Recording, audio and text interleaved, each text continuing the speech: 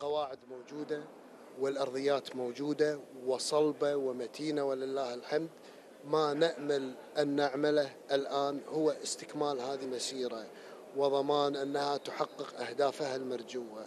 حققنا أهداف كثيرة ولله الحمد. آه، مستوى التعاون فيما بيننا تعاون رائع جدا وتنسيق رائع جدا وحققنا إنجازات كبيرة. نحتاج فقط ان أن نستكمل هذه ال ال الإنجازات.